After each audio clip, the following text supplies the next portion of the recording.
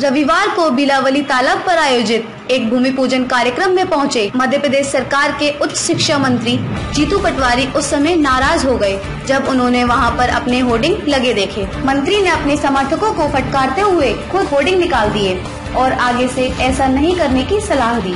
गौरतलब है कि पिछले दिनों मध्य प्रदेश सरकार के स्वास्थ्य मंत्री तुलसी सिलावट के जन्म दिवस पर उनके समर्थकों ने बधाई वाले होर्डिंग इंदौर में लगाए थे।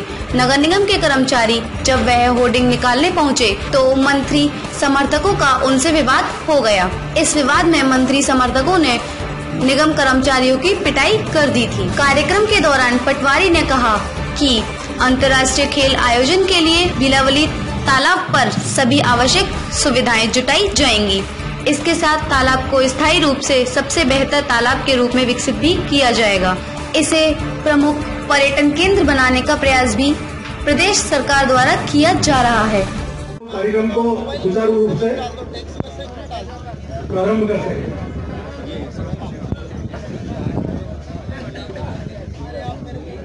चूँकि ये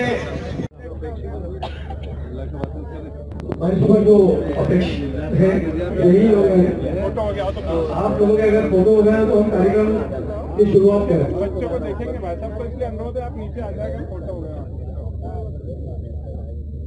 सबसे पहले तो मैं धन्यवाद देता हूँ हमारे नगर निगम के सारे परिवार को और महापौर जी को। वो इस नाते कि भाभी यहाँ आओ आप आपने पहल की सबसे पहले कि स्वच्छ इंदौर में होर्डिंग की जो है परंपरा है, ये खत्म होना चाहिए, समाप्त होना चाहिए। और प्रदेश के मुख्यमंत्री ने इसको आत्मसात करके उन्होंने निर्देशित किया सारे विभागों को, सारे नेताओं को, सारे कार्यकर्ताओं को। और पहले ये कहा कि कांग्रेस पार्टी के लोग होर्डिंग हटाएँ। इससे ये मैसेज जाए कि ये काम शहर को, प्रदेश को बदरंग करने का समाप्त हो। तो मैं सभी लोगों से अनुरोध करता हूँ कि होर्डिंग की परंपरा समाप्त हो चुकी है। अब जिसको लगाना है लोग समझेंगे कि खुद का फ़ोटो दिखाना चाहता है इसलिए। तो भैया मेरा तो मत लगाना तो मेरा मेरा समझेंगे कि मैं फ़ोटो दिखाना चाहता हूँ। तो इसलिए धन्यवाद इसलिए। दूसरी बात जनरेटर से चल रहा था हमारा माइक। बलराम भैया तो जनरेटर में डीजल खत्म हो गया इसमें मेरी गलती नहीं है। सही है। ध्यान रखें। तीसरी बात। तीसरी बात तीसरी बात। आज जो सबसे महत्वपूर्ण है, इंदौर शहर को एक सौगात।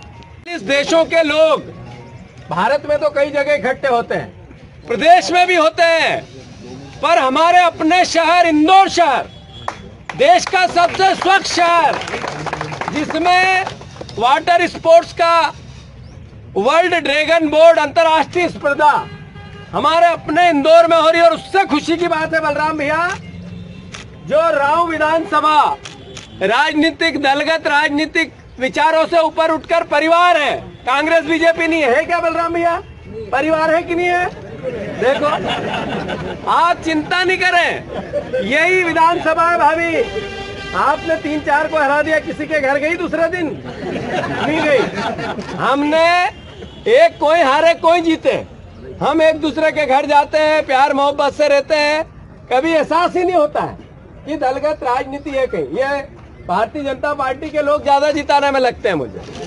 ये भी एक बात है, यही कारण है कि परिवार दिखता है। तो मैं सबको ढेर सारी शुभकामनाएँ देता हूँ, जैसा भाभी ने कहा।